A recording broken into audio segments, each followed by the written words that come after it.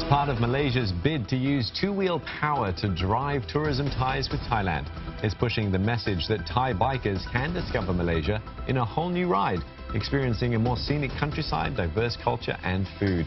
Bikers can now enter the country by making use of the Malaysia-Thailand land crossing points. A convoy of 100 Thai bikers have been scheduled to participate in the Desaru International Bike Week 2019 today. A group of climate change activists who wanted to disrupt Britain's Heathrow airport with drones had their plans thwarted as jamming signals kept the drones grounded. Heathrow Pause had wanted to pressure the government to take tougher steps to reduce carbon emissions. It wanted to disrupt the travel plans of tens of thousands of people to drive home its point. Nine activists have since been arrested.